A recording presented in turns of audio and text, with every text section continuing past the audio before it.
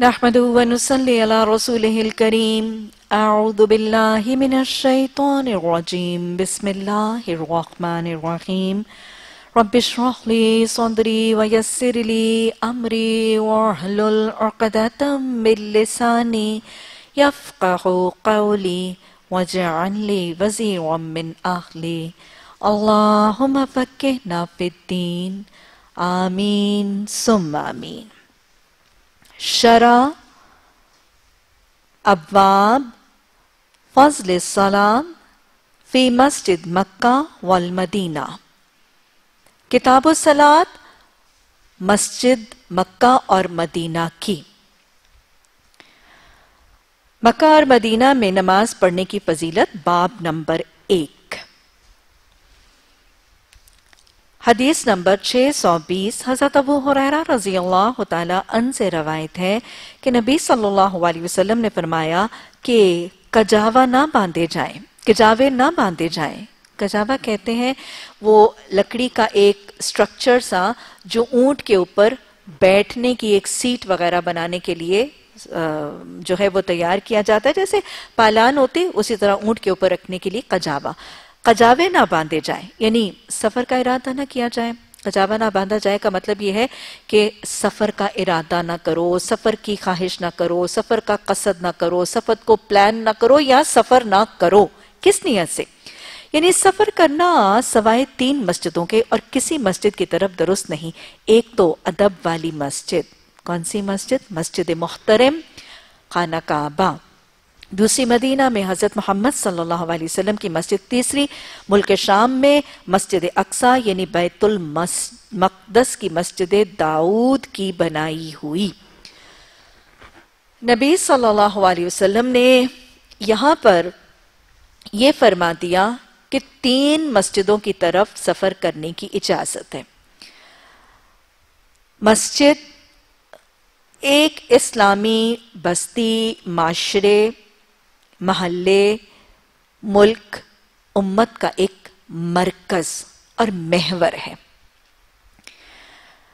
پیچھے ہم واضح طور پر پڑھ چکے ہیں کہ مردوں کی نماز با جماعت نمازی ہے اور مردوں کو مسجد میں جانے کی تاکید حدیث میں کتنی کثرت سے موجود ہے اور نہ جانے پر کیا وعید ہے، ہم پیچھے بڑی وضاحت سے پڑھ چکے ہیں۔ اور پھر اس کی فضیلت بھی پڑھ چکے ہیں، تاکید بھی پڑھ لی، وعید بھی نہ پڑھنے کی پڑھ لی اور فضیلت پڑھ لی کہ مسجد میں نماز کی فضیلت کیا ہے۔ گھر کی نماز کے مقابلے میں ستائیس گنا زیادہ فضیلت۔ گویا، اور پھر ہمیں یہ بھی معلوم ہے کہ مردوں کے لیے تاکید بھی ہے، نہ جانے پر وعید بھی ہے، جانے پر فضیلت بھی ہے، لیکن ساتھ ساتھ مسلمان عورتوں کو بھی مسجد میں جانے کی اجازت موجود ہے۔ اس کے ساتھ ہر مسلمان کو اپنے علاقے اور اپنی بستی کی مسجد کی طرف با جماعت نماز پانچ دفعہ جانے سے ہم بہت دفعہ پہلے پڑھ چکے ہیں کہ با جماعت نماز کی فضیلتیں کیا ہوں گی، خبرگیری ہوگی، اتحاد ہوگا، اتفاق ہوگا، ایک کامن پلیٹ فارم اور بہت سے اور فائدے۔ تو ہر پانچ وقت کی نماز اپنی لوکل لوکیلٹی کی مسجد میں ادا کرنے کی ترغیب ہے اور اسی کی تاکید ہے۔ وہ ایک چھوٹی مسجد اپنی بستی کے اور اپنی لوکیلٹی کے لوگوں کو اکاموڈیٹ بھی کرتی ہے سوٹ بھی کرتی ہے اس کی تاکید پانچ وقت کے لیے۔ اور پیچھے ہم بات کر چکے ہیں کہ اگر اگر فرقہ واریت یا کوئی فتنے کا امکان نہ ہو تو دور کی مسجد میں جانا، قریب کی مسجد میں رہنا پسندیدہ ہے اور دور کی مسجد میں جانے کی تاکید آپ، ہم نے پیچھے بات کی تھی کہ بغیر وجہ کے دور کی مسجد میں جانا حدیث کی تاکید میں تھا کہ اس کو پسندیدہ نہیں رکھا گیا تھا، تاکہ وہ سکل انر ہو اور وہیں پہ تعلق اور رابطہ ہو۔ پھر جمعے کے دن جامعہ مسجد، جو اس سے ذرا سا بڑا اجتماع ہے، پھر عید کے موقع پر اس سے بڑا اجتماع سال میں دو دفعہ عیدگاہ کے اندر، اور پھر سال میں ایک دفعہ وادی مکہ میں، ام القرآن میں پوری امت کا وہ ایک بہت سالانہ اجتماع حج کے شکل میں۔ تو یہ ڈیفرنٹ مساجد میں حاضری ہے۔ اپنی لوکل مسجد، جامعہ مسجد، عیدگاہ، حرم، جس کو سال میں، زندگی میں ایک دفعہ فرض کہا گیا صاحب استطاعت کے لیے، تو یہ ایک اجتماعیت کا تصور بہر کیف دیا گیا ہے۔ لیکن یہاں پر اس حدیث سے یہ پتہ چلتا ہے کہ رسول اللہ صلی اللہ علیہ وسلم نے خاص سفر کی نیت تین مساجد کے علاوہ باقیوں کے لیے منع فرما دی۔ آپ فرما رہے ہیں کہ قجاوے نہ باندھے جائیں یعنی سفر کا قصد، ارادہ، نیت انٹینشن ڈیزائر اور پلاننگ ہی نہ کی جائے۔ ان تین مسجدوں کے علاوہ یہ تین مسجدیں کون سی ہیں؟ خانہ کعبہ، یہ وہ ان اول بیت وضع للناس، پہلا گھر جو اس روئے زمین پہ بنایا گیا تھا لوگوں کے لیے، وہ کیا تھا؟ بے ہاں؟ مبارکتن، برکت والا مکہ میں خانہ کعبہ۔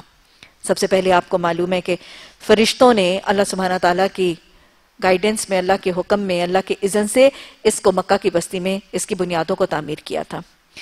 حضرت آدم علیہ السلام، فرشتوں کے بعد حضرت آدم علیہ السلام، پھر طوفان نو کے بعد حضرت شیشت علیہ السلام، یہ سب باتیں آپ پہلے پڑھ چکے ہیں۔ صرف ایک دہرائی ہے۔ فرشتوں نے، حضرت آدم علیہ السلام نے، حضرت شیشت علیہ السلام، اس کے بعد معمار خانہ کعبہ کے حضرت ابراہیم، خلیل اللہ اور حضرت اسماعیل زبی اللہ از یرفع ابراہیم القواعد من البیت و اسماعیل ربنا تقبل منا۔ ان دونوں نے بنایا۔ اور پھر اس کے بعد قوم عمالکہ قبیلہ جرہم قصائے بن قلاب، نبی صلی اللہ علیہ وسلم کے جد امجد میں۔ اور پھر قریش مکہ نے تعمیر کیا تھا اور باہر چھوڑ دیا تھا ایک حصہ۔ اور پھر اس کے بعد حجاج بن یوسف اور پھر عمر بن عبدالعزیز۔ یہ دس دفعہ تعمیر کیا گیا۔ اس دس دفعہ کے بعد خانہ کعبہ کی تعمیر نہیں ہوئی، البتہ توسیع۔ اور آج تک، اور آپ کو پتا ہے کہ آج کتنی توسیع ہو رہی ہے۔ دس دفعہ تعمیر ہو یا خانہ کعبہ کی، اور اس کے بعد توسیع۔ آج تک توسیع جاری۔ دوسری مسجد مسجد مسجد نبوی۔ نبی صلی اللہ علیہ وسلم کی ہجرت مدینہ کے بعد دست مبارک نبی صلی اللہ علیہ وسلم کے اپنے، آپ نے خود اپنے ہاتھ سے گارا بھی اٹھایا، مٹی بھی ڈھوئی، اپنے اپنے دامن میں بھی مٹی اٹھائی، اینٹیں بھی لگائیں۔ اب صحابہ اکرام بھی ساتھ شامل ہیں۔ پہلے چھوٹی ہے، پہلے کیسے کچا سہن ہے، کنکریاں ہیں، چھت نہیں ہے۔ ستون جو ہیں وہ کھجور کے شاخوں، کھجور کے جو تنے ہیں، ان کے کھجور، ان کے ان کے ستون ہیں۔ اور پھر آہستہ آہستہ بنتی بنتی آج وہ عظیم الشان عمارت مسجد نبوی کی۔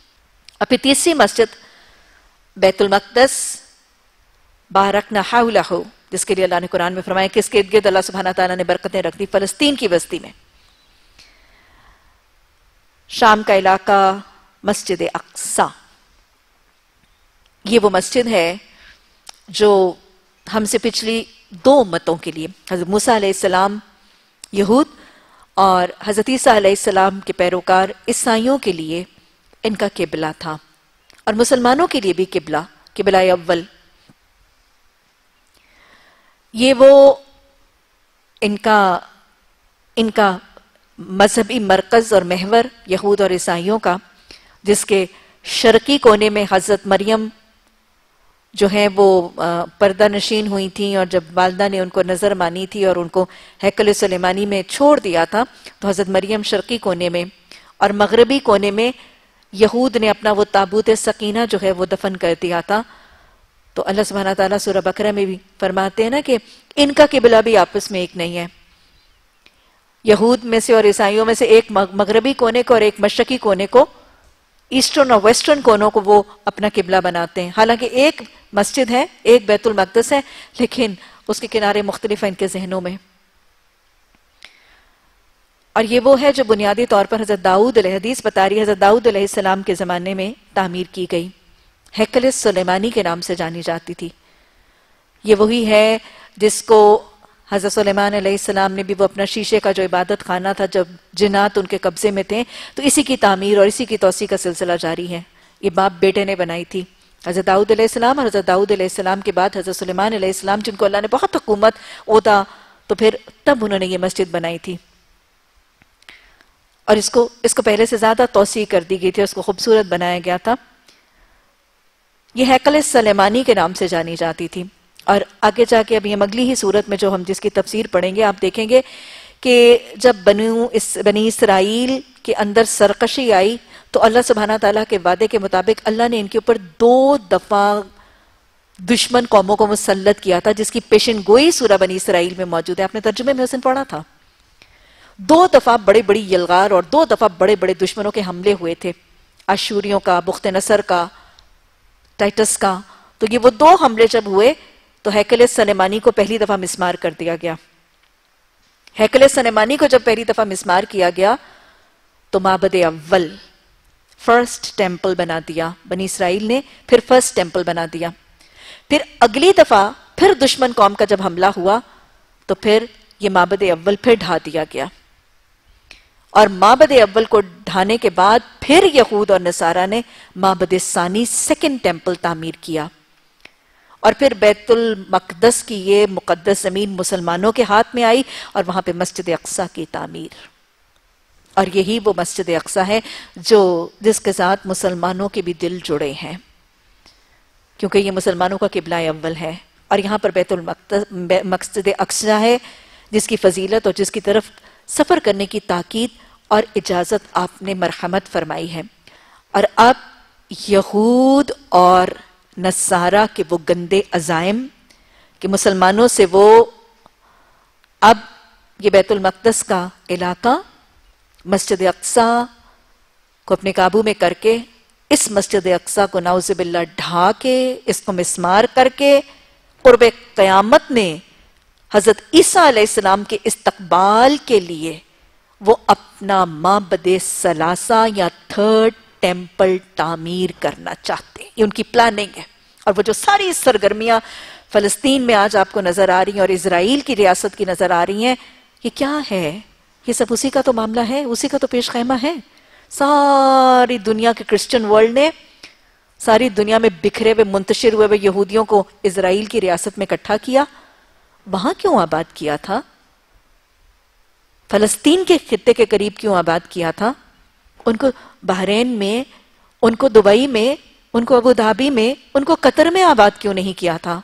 خاص جا کے ان کو بیت المقدس کی زمین کے پاس اسرائیل کی ریاست بنانے کا مقصد یہیں پر ہی نزول مسیح عیسیٰ علیہ السلام اور یہود کو قتل کیا جانا، دجال کو ہلاک کیا جانا اور ساری پیشن گویاں وہیں پہ ہیں۔ سارے کے سارے یہودی وہاں پہ سینٹرلائز ہو گئے۔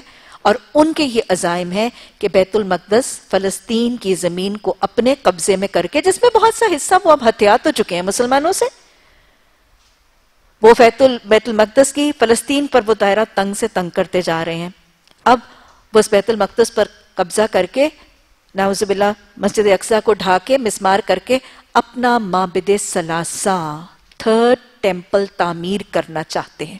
اور ان کا مقصد کیا ہے؟ کہ ان کا خیال ہے کہ حضرت عیسیٰ علیہ السلام کا نزول ہوگا تو ہم بحثیت عیسائی اس پر اپنا ٹیمپل تعمیر کر کے ان کا استقبال کریں۔ اور وہی کرائسٹ اور اینٹی کرائسٹ کا کانسیپٹ ان کی کتابوں میں بھی پیشن گویاں موجود ہیں جو دجال کا، امام مہدی کا اور نزول مسیح عیسیٰ علیہ السلام کا تصور ہماری شریعت میں موجود ہے۔ ہماری شریعت کا تصور محفوظ ہے کیونکہ اللہ نے اس کی حفاظت کا ذمہ لیا۔ ان کے کرائسٹ اور اینٹی کرائسٹ کا کانسیپٹ جو ہے وہ مسخ ہو چکا کیونکہ ان کی شریعت کے احکامات اور ان کی نبیوں کی پیشن گویاں جو ہے وہ محفوظ نہیں ہیں۔ بہرحال یہ وہ تین مسجدیں جن کی طرف نبی صلی اللہ علیہ وسلم نے فرمایا کہ سفر کیا جائے۔ اب سوال یہ پیدا ہوتا ہے کہ کیا ان تین کے علاوہ کسی اور مسجد، کسی اور بلڈنگ کسی اور چیز کی طرف سفر کرنے کا قصد کرنا جائز ہی نہیں ہے؟ ایسا معاملہ نہیں ہے۔ اصل معاملہ کیا ہے؟ عبادت کی غرض سے یا خاص اجر کی غرض سے، زیادہ ثواب کی امید سے یا نظر اور منت ماننے کے حوالے سے صرف ان تین ہی کی طرف سفر کیا جائے گا۔ میں پھر دوہرا رہی ہوں۔ زیادہ عبادت کی نیت سے، زیادہ اجر اور ثواب کی امید سے، افضل عبادت کے تصور سے یا ایک نظر اور منت ماننے کے حوالے سے صرف انہی تین کی طرف معاملہ کیا جا سکتا ہے۔ باقی زیارت کے لیے، دیکھنے کے لیے، سیاحت کے لیے کسی بھی منزل، کسی بھی عمارت اور کسی بھی مسجد کی طرف سفر سے روکا نہیں جا رہا۔ یہ خاص اغراض و مقاصد ہیں جو صرف ان تین مساجد کے لیے مختص کر دیے گئے۔ اس کے علاوہ باقی اغراض و مقاصد چاہے وہ سیاحت ہے، چاہے وہ زیارت ہے، چاہے وہ دیکھنا ہے، چاہے وہ ایجوکیشن ہے، چاہے وہ کوئی اور ووکیشنل ٹرپ ہے، وہ باقی مساجد اور باقی چیزوں کے لیے جائز ہیں۔ اور اس میں یہ بھی آ رہا، مختلف ہے آئمہ اکرام کی، کہ امام شافعی، امام مالک اور امام احمد کی رائے یہ ہے کہ صرف ان تین مسجدوں کی طرف جانے کے لیے اگر نظر مانی جائے تو اس کو پورا کرنا واجب ہے۔ امام شافعی، امام مالک اور امام احمد کی رائے یہ ہے کہ ان تین مسجدوں کی طرف اگر سفر کرنے یا ان میں جا کے نفل یا عبادت کرنے کی نظر مانی جائے تو اس کو پورا کرنا واجب ہے۔ باقی اور کسی کی طرف ضروری نہیں ہے، لیکن امام ابو حنیفہ کی رائے یہ ہے کہ ان میں بھی یہ نظر ماننا مطلق، اگر کسی نے یہ نظر مانی ہے تو ان تین میں بھی سفر کرنا مطلقاً واجب نہیں ہے۔ تھوڑا سا فرق ہے۔ وہ تین آئمہ کہتے ہیں کہ اگر کسی نے نیت یا نظر مان لی ہے تو پھر واجب ہو گیا ہے۔ لیکن امام ابو حنیفہ کے نزدیک اگر ان تین مسجدوں میں بھی سفر اور عبادت کی کسی نے منت مانی ہے تو امام ابو حنیفہ کے نزدیک بھی وہ واجب نہیں ہے۔ مطلقاً واجب نہیں ہے۔ یہ کیا معاملہ ہے؟ صرف ان تین میں کیوں اسپیسیفائی کر دیا گیا اجر و ثواب کے لیے؟ اور اگر آپ آگے والی حدیث پڑھیں تو اس میں اجر بھی زیادہ پرومس کر دیا جائے گا۔ حرم میں۔ پہلے پڑھ لیجیے، پھر میں بتاتی ہوں۔ حدیث نمبر 621 حضرت ابو حریر رضی اللہ تعالیٰ عنہ سے روایت ہے کہ نبی صلی اللہ علیہ وسلم نے فرمایا، میری مسجد میں ایک بار نماز پڑھنا اور مسجدوں سے ہزار بار افضل ہے۔ مسجد نبی کا اجر پھر کتنا ہے؟ ون تھاؤزنڈ ٹائمز سوائے مسجد خانہ کعبہ کے یعنی اس میں ایک بار نماز پڑھنی مسجد نبی سے سو بار افضل ہے۔ گویا مسجد حرام میں، خانہ کعبہ میں ایک نماز کا اجر کتنا ہوگا؟ Hundred thousand one lakh times ٹھیک ہے جی؟ اور مسجد نبی میں ایک ہزار دفعہ۔ امام احمد عبداللہ بن زبیر رضی اللہ تعالیٰ عنہ سے روایت کرتے ہیں، گویا خانہ کعبہ میں ایک نماز ایک لاکھ بار زیادہ ہے عام نمازوں سے۔ لیکن یاد رکھیے گا، یہ فرض نمازوں کی کوتاہی کو کا کفارہ نہیں ہوگی۔ گویا پھر خانہ کعبہ کی ایک نماز جو ہے، وہ اگر آپ وقت کے حساب سے تعین کریں تو پچپن برس، چھ ماہ اور بیس دن کے برابر ہے۔ ایک نماز خانہ کعبہ کی۔ Fifty five years six months and twenty days نمازیں پڑھنے کے برابر ہے یہ۔ یہ ایک نماز خانہ کعبہ کی۔ اور ایک ہزار گناہ اجر ہے کس کا؟ مسجد نبی کی اجر۔ آپ یہ دیکھیں کہ یہ کیوں منع کیا گیا؟ کہ صرف ان تین میں اجر کی ثواب کی نیت سے کیوں کہا گیا؟ کیونکہ بہرحال یہ افضل ہے خانہ کعبہ پہلی عمارت بھی ہے، ام القرآ بھی ہے، حدود خرم بھی ہے حج کا سینٹر بھی ہے، نبی صلی اللہ علیہ وسلم ہمارا قبلہ بھی ہے۔ مسجد نبی رسول اللہ صلی اللہ علیہ وسلم کے دست مبارک سے بنائی ہوئی مدینہ کا سینٹر، نبی صلی اللہ علیہ وسلم کا محور اور مرکز، آپ کی اٹھائی جانے والی پہلی مسجد، ہماری امت کی پہلی مسجد۔ اور پھر اس کے بعد مسجد اقسا قبلہ اول، اور ہمارے پچھلے دو جو انبیاء ہیں، ان کی امتوں کا قبلہ بھی ہے۔ ان کے مذہبی معاملات کا بھی محبر اور مرکز بھی ہے۔ اصل میں آپ یہ دیکھیں کہ ہمارا دین بہت ہی پریکٹیکل سا دین ہے۔ شریعت میں زیادہ اجر اور ثواب کسی بڑی مسجد کا کیوں نہیں لکھا گیا؟ کیونکہ اگر کسی بڑی مسجد کی طرف اجر ثواب زیادہ لکھ دیا جاتا تو لوگ اس اجر کے حریص اس بڑی مسجد کی طرف مائگریٹ کرتے رہتے اور اسی کی طرف آنے جانے کا سلسلہ جاری رہتا۔ اس کی وجہ سے لوگوں کا وقت، لوگوں کا مال ٹریفک وہ سب کچھ جو ہے، وہ اگر آپ دیکھیں کہ لاہور میں ہم یہ کہتے ہیں اور یہ لیبل کرتے ہیں کہ بادشاہی مسجد میں زیادہ اجر ہے اور تمہاری لوکل علاقے کی مسجد میں کم اجر ہے، تو کیا امکان ہوگا؟ ہے نا؟ آپ کو بات سمجھ میں آ رہی ہے؟ تو لہٰذا ہمارا دین بہت ہی پریکٹیکل ہے۔ پانچ وقت کی نماز کا مقصد آپس میں اپنی بستی کی خبر گیری ہے۔ اپنی لوکیلٹی کا اتحاد ہے۔ ایک دوسرے کے ساتھ اتفاق ہے، ایک دوسرے کے معاملات کو پرکھنا ہے۔ تو لہٰذا پانچ وقت وہیں جایا جائے گا۔ پھر دن میں، مہینے، ہفتے میں ایک دفعہ اور سال میں دو دفعہ اس سے بڑا اجتماع ہوگا، لیکن اس سے زیادہ مقصد بیسیکلی وہ اجتماعیت تھا۔ اور اگر ایک بڑی مسجد کی طرف ہر وقت روانگی کا حیرس اور اجر کی امید کے طلب میں گئے، تو یہ ایک تو بیسک مقصد فوت ہو جائے گا اور پھر ان نیسسری پرابلمز جو ہیں وہ کراپ اپ کریں گی۔ تو لہٰذا اس، ان حکمتوں اور واللہ عالم اللہ سبحانہ تعالیٰ حکیم رب احکامات دینے والا ہم سے بہت زیادہ بہتر حکمتیں سمجھتا ہے، لیکن اللہ کے رسول صلی اللہ علیہ وسلم نے صرف ان تین مقصد مسجدوں کے لیے خاص سفر جو ہے اس کی تاکید فرما باب نمبر دو، مسجد قبا مسجد قبا کی فضیلت کا بیان، حدیث نمبر 622 حضرت نافر رضی اللہ رحمت اللہ علیہ سے روایت ہے کہ طویل حدیث ہے۔ حضرت نافر رحمت اللہ علیہ سے روایت ہے کہ ابن عمر رضی اللہ تعالیٰ ان چاش کی نماز نہیں پکڑتے تھے، مگر دو دن مگر دو دن ایک ان سے جبکہ مکے میں جاتے تھے، اس لیے کہ وہ مکے میں چارج کے وقت داخل ہوا کرتے تھے۔ سو کعبے کے گرد گھومتے تھے، پھر دو رقط مقام ابراہیم کے پیچھے پڑتے تھے اور اس ایک دن جب مسجد قبا میں جاتے تھے۔ یعنی حضرت ابن عمر چارج نہیں پڑھتے تھے، صرف یہ دو دن پڑھتے تھے۔ ایک تو جب وہ خانہ کعبہ کا طواف کرتے تھے اور دوسرے جب وہ مسجد قبا میں جاتے تھے۔ اس لیے کہ وہ ہر ہفتے کو وہاں جاتے تھے یعنی سیٹرڈے کو وہاں جاتے تھے۔ سو جب مسجد میں داخل ہوتے سو اس وقت باہر نکلنے کو مکرو جانتے، یہاں تک اس میں نماز پڑھتے اور حدیث بیان کرتے کہ رسول اللہ صلی اللہ علیہ وسلم بھی اس کی زیارت کیا کرتے تھے، سوار بھی کرتے تھے اور پیدل بھی کرتے تھے۔ اور ابن عمر کہتے ہیں کہ میں تو صرف وہی کرتا ہوں جس کے، جیسے کہ آپ اپنے ساتھیوں کو کرتے دیکھا۔ اور میں کسی کو منع نہیں کرتا کہ نماز پڑھیں اس وقت جب جس وقت اس کا جی چاہے، رات یا دن میں سوائے، اس کے گنا قصد کرے نماز سورج نکلتے اور ڈوبتے وقت۔ گویا حضرت ابن عمر کی روایت نظر آ رہی ہے اور رسول اللہ صلی اللہ علیہ وسلم کی سنت کبھی وہ نشاندہی فرما رہے ہیں کہ آپ مسجد قبا میں جاتے تھے، سوار بھی جاتے تھے، پیدل بھی جاتے تھے اور وہاں آپ نفل پڑھتے تھے اور حضرت ابن عمر بھی وہاں پہ چاشت کی نماز پڑھتے تھے کیونکہ اسی وقت جاتے تھے اور سیٹرڈے کے دن جاتے تھے۔ گویا مسجد قبا میں بھی اجر کے لیے جایا جا سکتا ہے اور اس کے لیے خاص البتہ ہفتے کے دن کو اسپیسیفائی کرنا رسول اللہ صلی اللہ علیہ وسلم کی سنت نہیں ہے۔ ازساد بن نبی وقاص رضی اللہ تعالیٰ عنہ کی روایت سے مسجد قبا کے حوالے سے نا ایک اور حدیث بھی آتی ہے۔ آپ نے فرمایا کہ مسجد قبا میں نماز پڑھنا میرے نزدیک بہت پیارا ہے۔ آپ کو پتا ہے مسجد قبا یہ وہ مسجد ہے جو بیسکلی جب ہجرت کے بعد آپ نے مسجد نبی سے پہلے بھی جو چھوٹی سی مسجد کی بنیاد آپ نے رستے میں اپنے سفر میں رکھی تھی نا یہ مسجد قبا ہے۔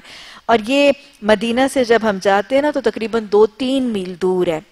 مدینہ سے دو تین میل کے فاصلے پر ہے اور اوالی کی طرف۔ میں نے آپ کو بتایا گاؤں جو پہلے بتا چکی ہوں، مدینہ کے اوپر اور پستی اور نشیب اور بلندی کی طرف جو گاؤں ہے تو اوالی کی طرف جب ہم جاتے ہیں تو وہاں پہ یہ مسجد جو ہے وہ رستے میں آتی ہے۔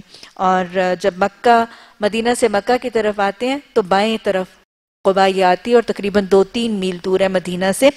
تو یہ وہ مسجد ہے جو رسول اللہ صلی اللہ علیہ وسلم نے اپنے دستے مبارک سے پہلے ہجرت کے بعد جو ہے وہ بنائی تھی، مدینہ پہنچنے سے پہلے۔ تو آپ نے فرمایا، حدیث میں آتا ہے کہ میرے مسجد قبا میں نماز پڑھنا میرے نزدیک بہت پیارا ہے، بیت المقدس میں دو بار جانے سے۔ اور اگر یہ لوگ جانتے کہ مسجد قبا میں نماز پڑھنے کا کیا ثواب ہے، تو البتہ اس کی طرف اونٹوں پر سوار ہو کر آتے۔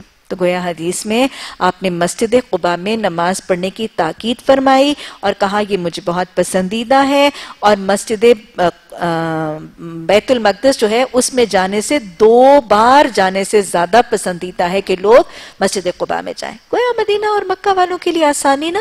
کیونکہ مسجد اقسا کیا ہے؟ مکہ اور مدینہ والوں کے لیے، جزیرہ عرب والوں کے لیے ذرا دور ہے۔ تو ان کی سہولت کے لیے اجر ان کو ان کے قریب ہی دے دیا گیا۔ اور ویسے بھی مسجد اقسا کو مسجد اقسا کیوں کہتے ہیں؟ اقسا سب سے زیادہ دور والی مسجد۔ سب سے زیادہ دور والی کیوں؟